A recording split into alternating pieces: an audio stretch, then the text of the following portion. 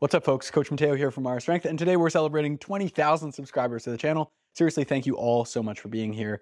And I wanted to do a big, massive Q&A to answer a bunch of questions that people who follow might have. So thank you to everyone who submitted questions and upvoted the most popular ones. Stick around, you'll probably learn something from everything that has been asked. Okay, I'm gonna start with the most popular question that like seven different people asked, which is, how tall are you? How tall are you? But I actually interestingly opened up one of the threads Mitchy got movesy 7635 asks, How tall are you? Notorious MMA Connor responds, He's probably 5'9, 5'10. Slept King 994 responds, First thing I wanted to know as well. I think people want to know your height because based on your weight and your height, they can kind of compare your pictures to themselves and be like, okay, is he, you know, 10 pounds heavier than me, but maybe he's a little taller or something like that? I get it. Xander Michaels E336 says he's second door hinge tall, which is highly observant. We can see the picture there that my head is close to the second hinge. Or maybe I have giant doors in my house. Wouldn't that be a twist? And then we've got Uvier who says, I don't think so. With a 5'9 frame and these muscles, he ought to weigh 175 to 180 at least, which which is weird because I don't know why I would lie about my weight. And if I were to lie about my weight, don't we think that I would make myself heavier? And be more jacked than be like, yeah, bro, I'm 155 here. It's not really something to brag about. Your boy Joe's, you underestimate how lean he is to get that small of a waist and that muscularity. Uh, you either have to be really low body fat percentage or have crazy muscularity. Your boy Joe's is informed. To answer the question, I'm 175 centimeters tall, which I think is like 5'9 or maybe 5'8. And yeah, I am really 155 in that photo. Uh, I was 205 in the photo beside it and I didn't change in height. It's in the same bathroom, and I'm currently 170 pounds. We're bulking, we're on the way up. Moving on, Kaduri Mdu 43, I'm gonna butcher these names, asks, how do you judge how many calories you eat? Me personally, I just let MacroFactor make all the decisions for me, which is my preferred nutrition tracking app. I've been using it for like a thousand days. You can try it out for free. Code MARRA, M A R R A, for an extended two week free trial. I buy the annual subscription. It works out to like $6 US per month and it just automatically adjusts my calorie targets based on my weight progress and how much food I'm eating. It's got kind of like a smart algorithm inside of it. I basically just leave all my decisions up to MacroFactor. But if you weren't really sure where to start and you didn't want to use MacroFactor, you could grab a free nutrition tracking app like MyFitnessPal or Cronometer, or you could even grab my free weight loss calculator using the link in the description box and that'll spit out an answer for you. Karen with a four and three, that's pretty awesome. Asks, I want to lift more and get stronger, but also lose fat. Feels like I can get lean and weak or fat and strong. How can I get both stronger and leaner at the same time? Is this a bad goal or strategy? I like getting leaner, but then I get demotivated when my squat, bench press, and deadlift go down. I'm actually picturing like a real life Karen, can I speak to the manager type woman here? So hopefully that's you. The reality of it is your top end strength, meaning your 1RM or peak strength on squat, bench press, and deadlift, are probably going to reduce as your body weight decreases. You get worse leverages, especially in the middle of the dieting process when fuel is just lower. You just aren't going to be able to hit the same numbers as you could when you're full of glycogen, you know, you're eating plenty of carbs, lots of fluid. So, one thing to consider is probably some losses in strength on the peak end of things is to be expected with squat, bench press, and deadlift. But it's a good goal probably to try and at least maintain some rep strength, like what you can do for a 5 rep max, 6 rep, 10 rep max.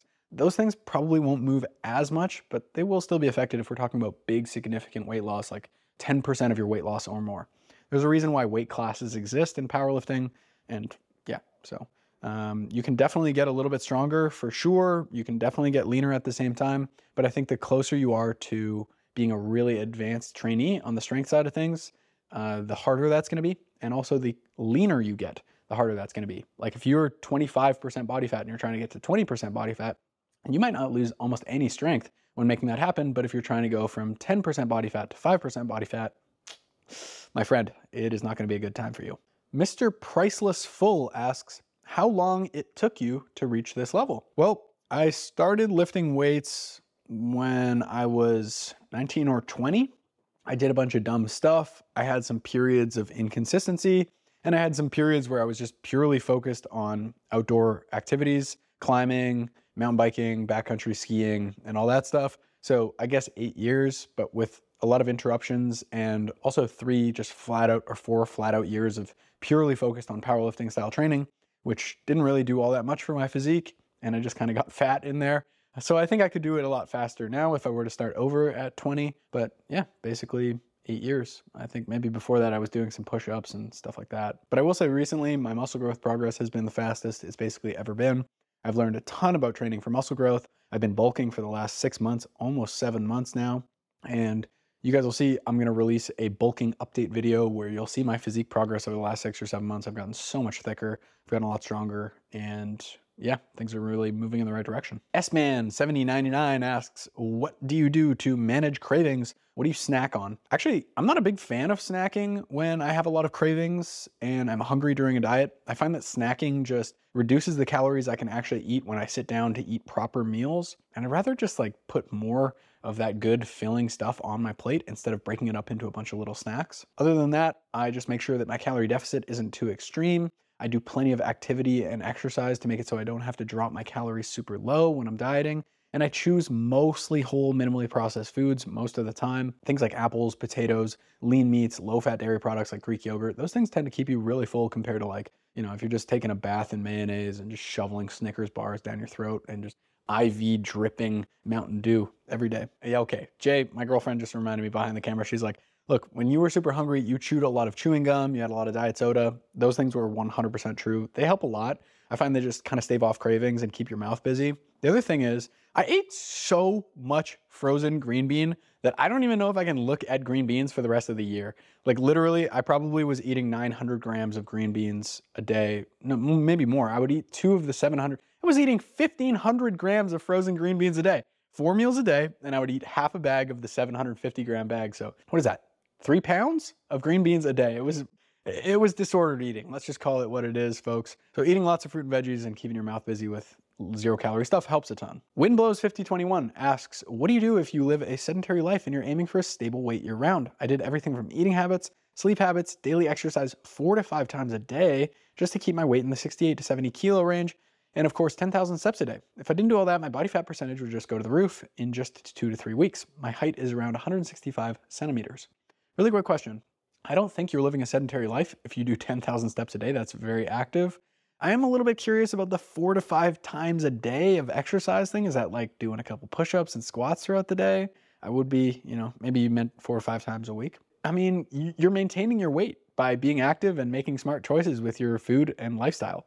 That's kind of what it takes. I wish there was a magic pill outside of this that's not, you know, freaking GLP 1 agonists or something like that. But that's basically what it takes, man. The other thing to consider is maybe putting some weight training in there. I'm not sure if that falls under your daily exercise stuff.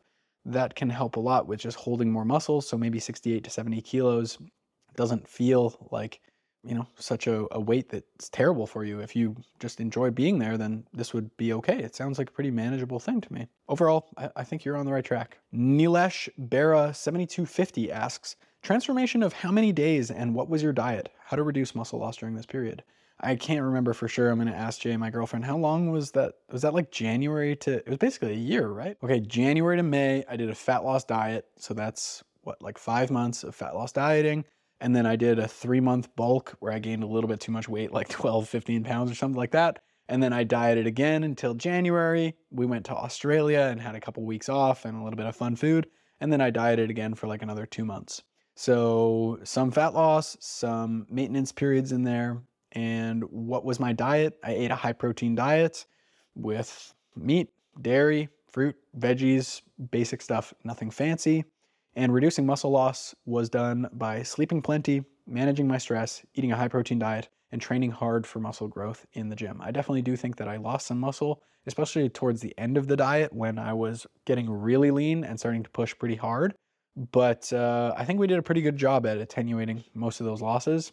And especially early on in the diet, I think I was even building quite a bit of muscle because I just changed my training to more hypertrophy style training, and that was making a lot of difference. Rogue Biker 98 asks, how should an obese sedentary individual weighing 100 kg at 35% body fat, 175 centimeter height, approach getting down to 15% body fat and getting muscular? Recomp versus cut? What's the time frame and protein calorie goal? Also, are you familiar with Lyle's Lyle McDonald's rapid fat loss and protein sparing modified fast approach. Okay, let's start with Lyle McDonald's rapid fat loss, protein sparing modified fast. I tried this back in the day when I was trying to get super lean. I ate 800 calories a day, basically exclusively from egg whites, tuna, and chicken. And I think I had like a little bit of veggie in there too. And yeah, it's terrible. It's tragic. Uh, that's disordered eating, in my opinion. Um, I don't think almost anybody is really a great candidate for this. Maybe like there's some medical applications where someone might be recommended this, but I think in almost every scenario, it's better to just go with a more moderate fat loss approach. You'll lose a lot less muscle. You won't be as miserable. You won't get lightheaded and pass out. It's really just terrible. And, and honestly, it's not necessary. Might you go a little bit faster? Yeah. But we're talking about the difference between, let's imagine, 800 calories versus 1,800 calories. You may lose another two pounds that week. How much of that is muscle? I don't know. Um, but man, just diet for another week. You know what I mean? Like, yeah, you might move a little faster, but shit, man, you didn't get into this 35% body fat position in a week or two weeks, and it's not going to take you a week or two weeks to get out of it. So just buckle down and, and start moving in the right direction at a reasonable rate. No need to do anything crazy like that. What's the time frame and protein calorie goal? I would honestly say just use my free weight loss calculator linked in the description box. There's a little basically tab in that sheet that'll show you what your kind of timeline might look like over the next six months, how to take some breaks along the way, and what weight goal milestones you should aim to hit over the next six months. It'll also tell you the protein and calorie goal, but again, nothing crazy, just standard 500, 750, maybe 1000 calorie per day deficit if you really think you can handle that done for, you know, 12 weeks at a time or something like that. Recomp versus cut, I would say definitely cut if you are 35% body fat, aiming to maintain your weight at 100 kilos and just train. There's just no way you're going to be 15% body fat at 100 kilos uh, unless you're like top natural bodybuilder in the world. I, I just I don't see it really happening at five nine. It's pretty unlikely. So I would do a fat loss diet or fat loss diet and then take a little break, eat at maintenance, and, and diet some more. How should you approach getting down there uh, and getting muscular? I think honestly, just getting into some basic weight training stuff, learning to build muscle in the gym. Just start training three, four days a week consistently in the gym. Start mastering the skills of training for muscle growth in the gym and just start moving in the right direction with that. That's going to be your biggest lever for the muscle growth side of things. And we already talked about the fat loss diet side of things. To start now, buckle in. Don't expect to see super crazy results right away in one week. It, it might take you a year to get down to your goal weight. It might take you two years. Um, whatever it takes, let's just not delay it by waiting to get started or giving up early. Shameless Plug 91 asks, Are you taking on coaching clients? The answer is yeah, I'm going to take on a few more one on one coaching clients in October, and I'll probably end up taking on one or two new coaching clients each month thereafter. You can just email success at marrastrength.com. Let me know a little bit about you, your goals, and what you're struggling most with. And if it sounds like I can help you, I'll get you all the details on how coaching works. Anubavyas7781 asks If you were a vegan, do you think you could have achieved the same results without a ton of protein powder? Most folks don't know that I ate an entirely plant based diet for over a year. I think it was closer to like a year and a half because I saw a video once upon a time of Clarence Kennedy uh, lifting, and I was like, damn, this dude's jacked and he's a vegan. I'm gonna eat exactly what he eats. So sure enough, I downloaded Cronometer. I started eating the shredded wheats with soy milk and flax seeds for breakfast, and yeah, protein powder and some of these other, you know, soy and tofu products. And I actually didn't make very good progress building muscle. Do I think it's because of the vegan diet? Not really, actually. I think it's because that I just wasn't very good at training at the time. I didn't know how to train hard. I didn't know how to train for muscle growth. And a lot of what I was doing just wasn't very specific to that. I think you can make great progress and build a lot of muscle as a vegan, most certainly. And doing it without protein powder is going to be hard for sure, but not impossible. You're just going to have to eat a ton of tofu, a lot of, you know, seitan and these fake meat products you're going to have to have a lot of soy products probably. The tough thing with being vegan and especially fat loss diets when you're talking about high protein is that a lot of plant based protein sources come with a lot of carbs and fats along with them, like beans, black beans, for example. I don't know exactly off the top of my head, but in order to get 40 grams of protein from black beans, you're eating like hundreds and hundreds of calories because beans just come with a lot of carbs with them as well. So that makes it a little bit tougher to balance, and that's where things like those protein powders really do help. Yeah, so 660 calories of black beans gives you 44 grams of protein. That's 500 grams of beans. Not to mention the fact that you just be like blowing ass all day long if you were to eat a pound of beans. And on top of that, I will say that I have a client, actually a couple of clients, who eat almost entirely plant-based diets who've made great progress, losing 20, 25 plus pounds over the course of the last six months or so. And they seem to be doing great. So I'm sure you can figure it out. This is a great question. Southern Bell Pepper asks, what would be your advice to someone who's skinny fat? I'm 28, six feet tall, and 80 kilos. I have skinny arms and legs with mostly weight around my abdominal and middle region. I'm concerned about my organ health, obviously, but I also want to feel more physically capable and healthy, as well as attractive again. I'll be starting a master's in science and dietetics soon, very cool, and I understand the nutritional side. But exercise and weight training is not something I'm confident in yet. Any advice with these issues would be great. Smiley face. Thanks for the previous posts and videos you've made. They make more of a difference for guys like myself than you can imagine. Thumbs up emoji. Awesome. Thanks for your question, Southern Bell Pepper, and I'm glad you appreciate the videos, dude. So, on the nutritional side of things, you already know this, but a high protein diet, great idea to support muscle growth. And ultimately, muscle growth is the antidote to skinny fat. Nobody can be skinny fat with a lot of muscle by definition. You're just thick fit if you carry lots of fat and muscle. And even at any given body fat percentage, if you just had another five kilos of muscle on you, you'd look way better, right? So high protein diet, super important. No need necessarily to cut. You can just maintain your weight. And what we need to do is master that weight training and muscle growth side of things. You said it's something you're not confident in or understand yet. I'll tell you right now, that is the number one reason why you are in this skinny fat position. You need to become confident with it. You need to master it. You need to show up consistently in the gym and really learn to train in a way that stimulates muscle growth. That means training hard with basic exercises, relatively close to failure, and getting stronger at them over time, week after week, month after month, for a period of months and years, without big gaps in between. So if you can just go get your gym membership now, and from whenever we release this video, you know, October 2024 until October 2025, if you can just not miss a bunch of workouts. Maybe you go on vacation once or twice, that's fine. And you're just in there every time focused on building muscle. You will not be skinny fat anymore. A year of serious, dedicated training for muscle growth is basically all it takes to cure skinny fat for basically anybody. That's what I'd do if I were you. I released a whole video on this and how I fixed it for myself if you want to watch it a little bit more in detail and see a little bit more about what I mean with that stuff. But yeah, a year of training. as basic as it sounds, that's what I do. Okay, Jay has a question, so we're going to you. How does it make you feel to see so many comments about and DMs about your body hair? Okay, if you couldn't hear that, Jay asks, how does it make you feel to see so many comments and DMs about your body hair? Uh, man, I mean, I'm sure some of you guys watching the channel see this in the comment section.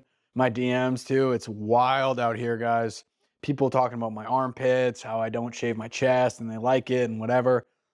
I, am just curious, like, why so many people care. Like, a lot of people, it's not even like a sexual thing. They're just like, I respect that you don't shave your chest like so many other fitness guys do. Man, who cares? Like, uh, people are gonna shave their chest or not. Like, it's just whatever. Um, that that's my honest thing is like, why do people care in the first place? And the other one, like all the sexual stuff, like, hey, do you sell OnlyFans stuff? Blah blah blah. So sexy, your armpits, yada. I'm like, just fuck. God damn it. I'm trying to be like out here educating people and teaching about training and nutrition. All people can do is just stare at my goddamn armpits like it's some kind of warm fucking place for them to put something that shouldn't go there. Uh, it's beyond me. I don't know. Okay, next question. Atheist Nihilist asks, what are some of the physiques which have inspired and motivated you during your journey? Could be friends or father, uncles or bodybuilders or clients or actors or other influencers, etc. Yeah, this is a really good question. I will say that um, while I do get inspiration from people with their physiques, one thing that I have seen a lot of is people asking like, "What is your goal physique?" And people will say like, "Oh, I want to look like Thor, or I want to look like this or whatever." And I think that's kind of misguided because you're never going to look like somebody else. You're only ever just going to look like a more jacked version of yourself. So I'd say that a lot of the physiques I kind of aspire to look like are ones that I think my body type could eventually end up looking like. But outside of that, like I, I purely just see some physiques and I'm like, that's fucking crazy that they achieved that. And that's inspiring to me, just knowing like the work and effort that went into that and seeing what's cap- what's possible. That's really inspiring. Obviously, I know I'll never be a pro bodybuilder, but a lot of pro bodybuilders have very inspiring physiques to me. Alberto Nunez, Brian DaCosta are two of them. Doug Miller, Joshua Kenyon, Frederick Ibsen, all crazy physiques, super inspiring. Adam Powell as well. People who I'm like, look, I'm probably never going to look like this. I'm probably never going to look like Jeff Alberts, but who cares? It's really cool to see what's possible. Some other people of note, I will say, like more in the YouTube and fitness space, uh, Axel Hersoviak, uh, Geoffrey Verity Schofield, just enormous, super jacked. Axel's got like the fucking svelte, the symmetries, super dialed. That's awesome. Uh, Alex Leonidas, Alpha Alpha Destiny, awesome physique. Um, who else? Paris Butler, Bald Omni Man, just has like mega melon chest, stupidly deep back, fucking crazy shreds. Um, who else? I think there's some other people that I'm probably forgetting. Oh man, yeah, there's some guys on the enhanced side too who have crazy physiques. Jared Feather has just like an insane, insane physique. I, I, I don't hang out with a lot of pro bodybuilders or a lot of people who take steroids, but um, I went to this event in Melbourne and Jared Feather was there. I think he's like 5'11 or 6 feet tall and like 240, 230 pounds. Like shredded, below 10% body fat. Insane. And like we're all training together in this big gym, uh, Eugene Teo's gym. There was like 30 people in the room. And at the end of the workout, Jared Feather took his shirt off and was just flexing in the mirror. And people just started gravitating around him and just kind of formed a circle like there was something going on. And it was just like a different level of, it, it was inhuman. Like it was something I just never seen. It was crazy just to see what's possible. Okay, last thing I'll say about this the biggest inspiration I take from all these people is not like, oh, wow, look at their body and look what's possible and like, look what I could do if I stuck with this because I know I'm probably never gonna look like them. But what I do see is their training. When I see people training, that fires me up to see the effort they give into every set, how consistent they are with their diet, and how much they really do pour into everything, how meticulous they are. To me, that's like the biggest inspiration. Just being like, wow, look at this person's work ethic and look at their dedication. That fires me up. Apple Juice City asks, what advice would you have for a large, six foot four, 240 pound man trying to get back down to 220 while maintaining a healthy amount of lean muscle? Cool, great question. First thing I'll say, just because I'm a nitpicky asshole, there is no such thing as anything but lean muscle. All muscle is lean tissue, as human beings store very little amount, or I think almost no intramuscular fat. Honest to God, man, simple stuff. Basic fat loss diet over the next, what, eight weeks for you maybe to lose 20 pounds. No, maybe more like 12 week fat loss diet. So we're not losing fat too quickly, something like a pound, pound and a half a week. Uh, while training hard for muscle growth in the gym and eating a high protein diet, managing your stress, and getting plenty of sleep, risk of muscle loss is very low in this situation. So, yeah, just do the basics. What everyone talks about, it works really well. Ron John Biffy asks, Hello, hello.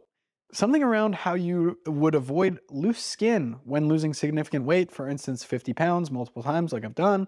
Have been actively looking for advice on this for a while and I haven't found it. I think you're uniquely qualified to discuss this particular topic. Thanks.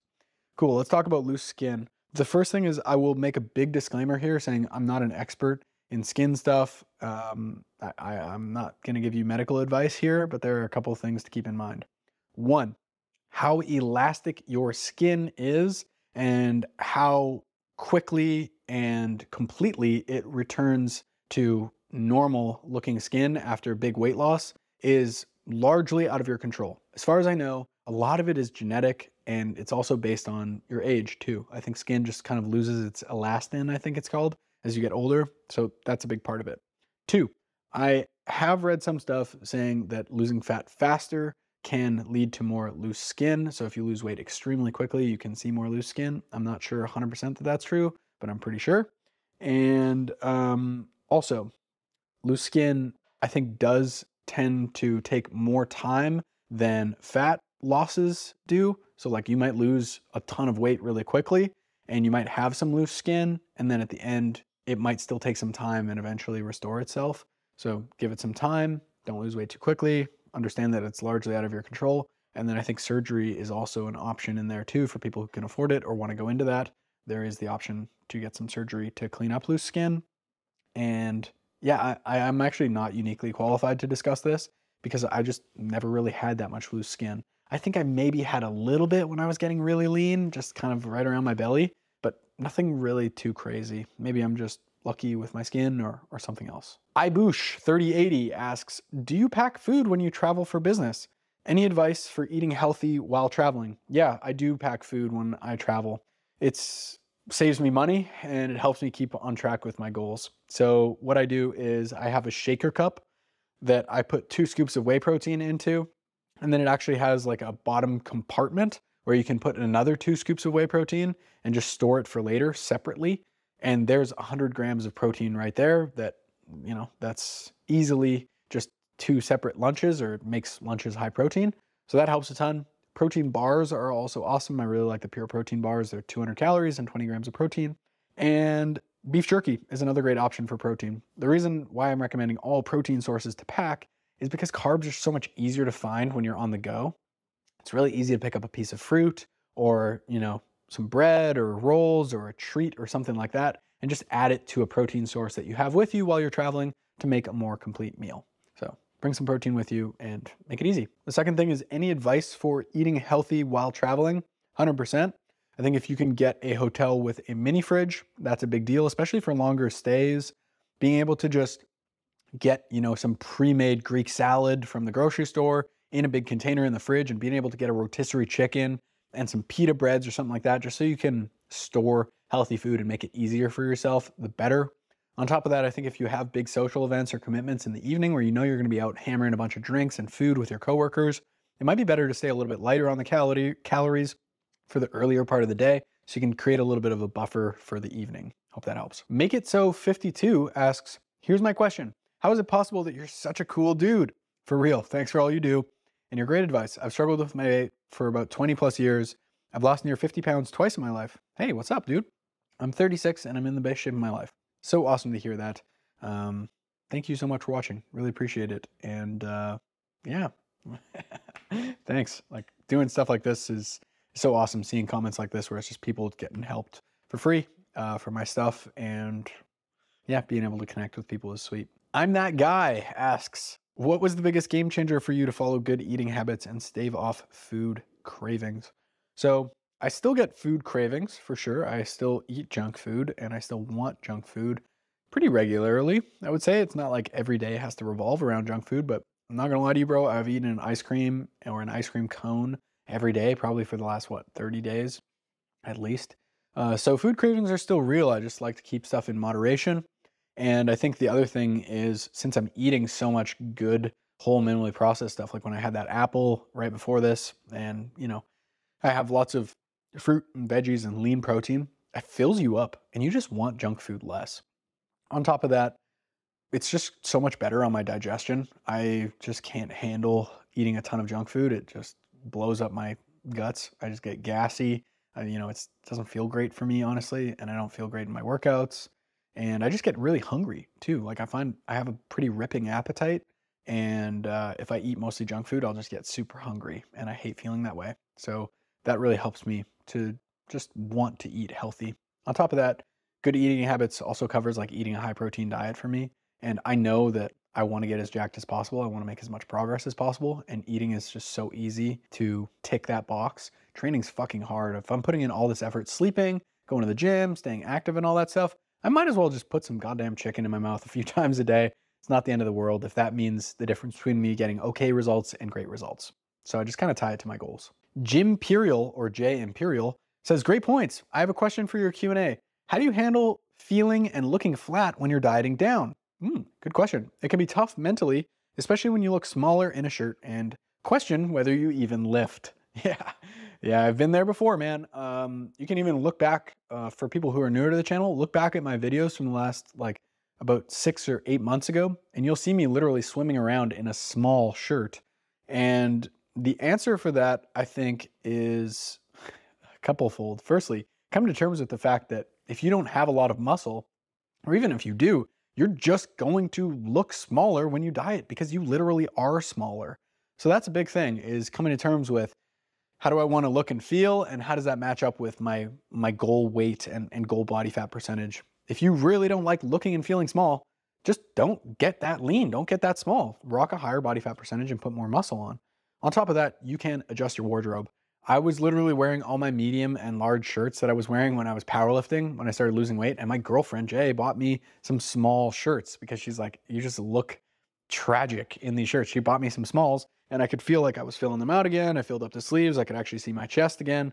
So I think kind of updating your wardrobe based on your weight loss can help a lot too. Another good idea is to just focus on kind of where you're headed. It might be tough along the way and you're probably going to look worse in the middle of it, but just know that you're plugging in for an end goal. And even if dieting literally makes you look worse in the interim, you're getting leaner so that you can get down to a place where you look better. Maybe that's just being shredded and super lean down there, or maybe that's getting lean enough so you can bulk for a long time and put some more muscle on. So it's all kind of a means to an end. And when you start eating more food at the end of your diet, you're also gonna fill up and just look so much fuller and better too. The other thing you can do is if you're a hairy bastard like me, when you're fat or softer, I'm not gonna say fat, when you're softer and you have a higher body fat percentage, letting the body hair grow out a little bit is a bit of a pattern interrupt and uh, it makes you actually look a little bit leaner. It covers up some of that softness. But when you're really lean, taking off some of that body hair can reveal a lot more definition. So you can actually see the abs, you can see a lot more striations and things like that. Twin3892 asks, what is too long for a diet? The answer is it's going to be completely different for everybody, but here are some guidelines to follow. If you are pushing for so long that you're finding it hard to even continue sticking to the diet and adhering to the plan, well, you're probably done, right? You've been dieting for so long, you're so hungry or just psychologically burnt out on the dieting process.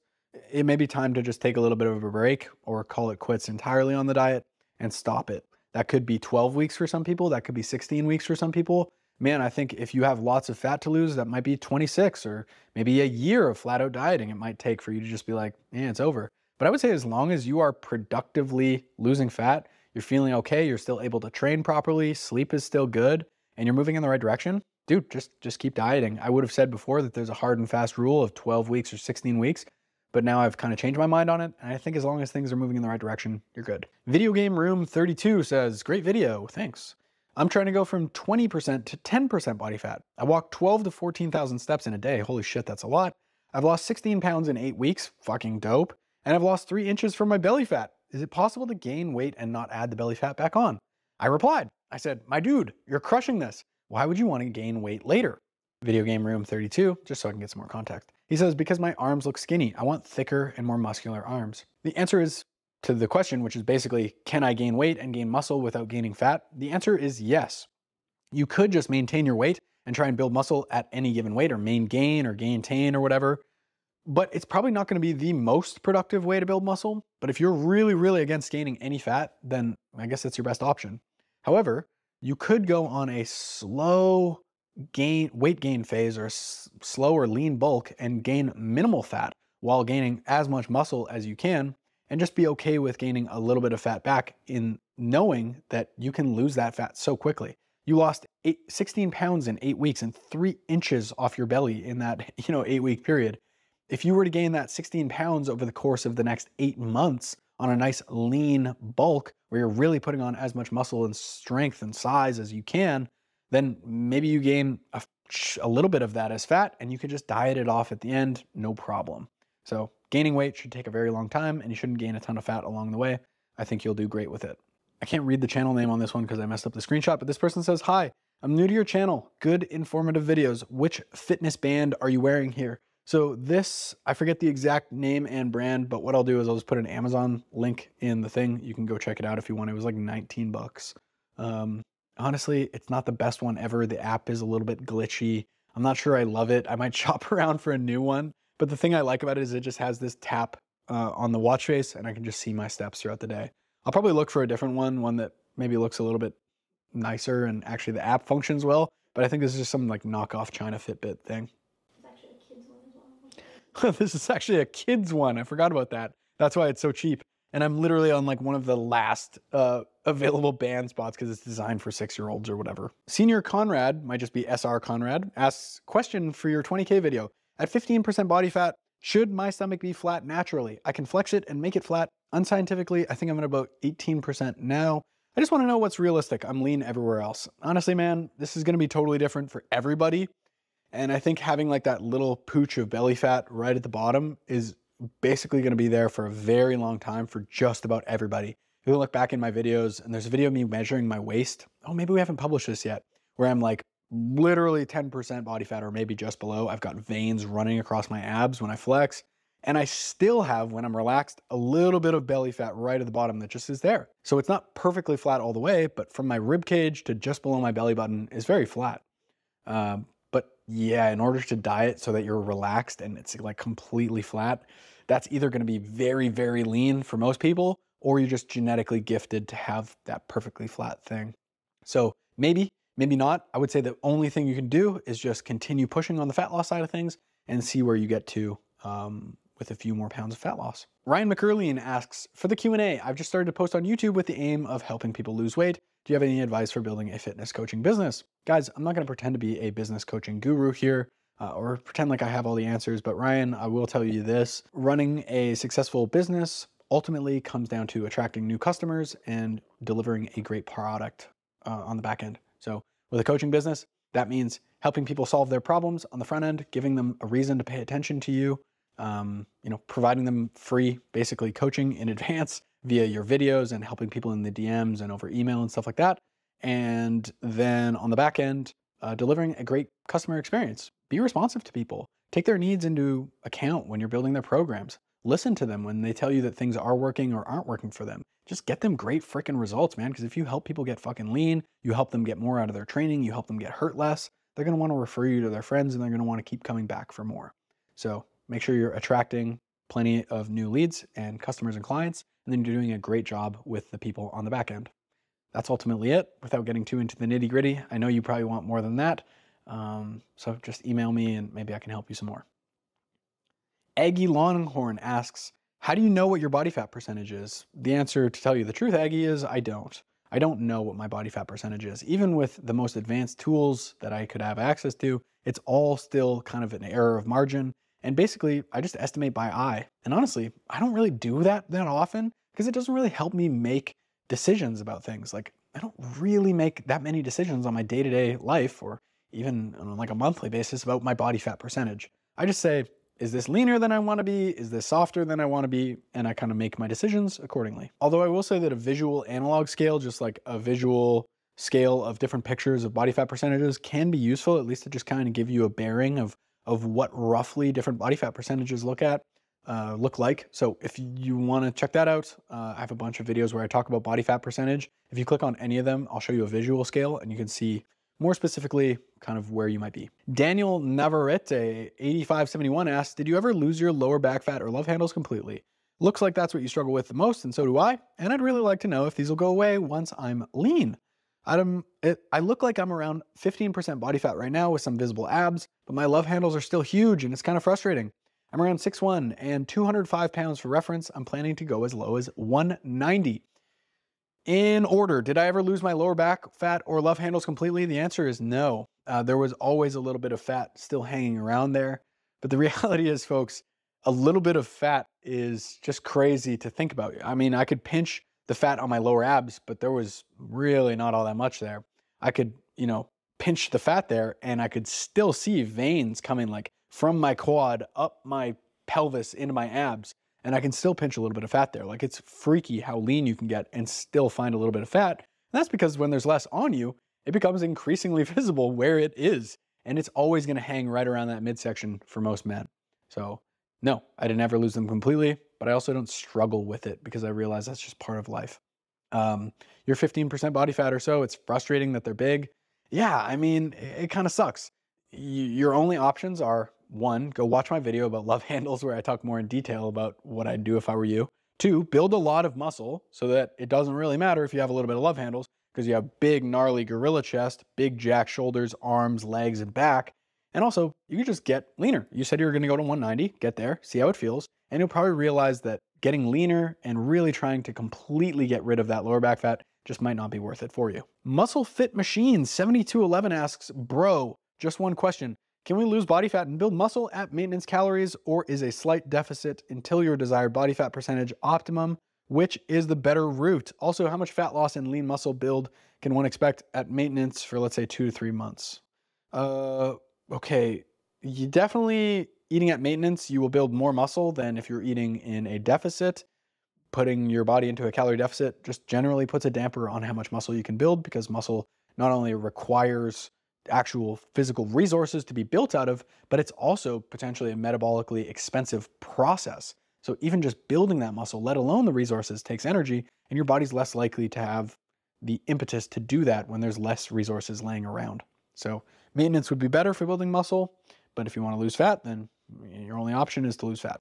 Also, how much fat loss and lean muscle would you expect to build at maintenance with two to three months? I honestly have no idea. That depends on a lot of different factors. How well are you training? How well are you sleeping? How well are you managing your stress? Uh, how long have you been training for? How consistent are you? All those things will come into play. But the thing is, you don't need to know. Like, you really don't need these answers. Just go and do your absolute best, and you'll get the absolute best results that you could, right? I think a lot of people get too caught up in like trying to figure out where they're going to be or how long it's going to take when in reality, they just need to get started. Again, thank you all so much for being here. I really appreciate every fucking one of you 20,000 cool people. And I'm probably going to do another one of these at 25,000 subscribers. If this goes well, gets a bunch of, you know, views and everything like that. So if you want to leave more questions for the next one below this, feel free to. And if you don't want to leave a question, just upvote the ones that you want to see answered. For those of you who don't know, it's basically just my girlfriend and I running this YouTube channel. We do everything. She's behind the camera. And, you know, I write the videos and everything. So it's great to have so much awesome support. In any case, be sure to leave a comment below with questions for the 25,000 Q&A and thumbs up the ones that you want to see me answer. Thanks so much for watching as always, and I will see you in the next one. Peace.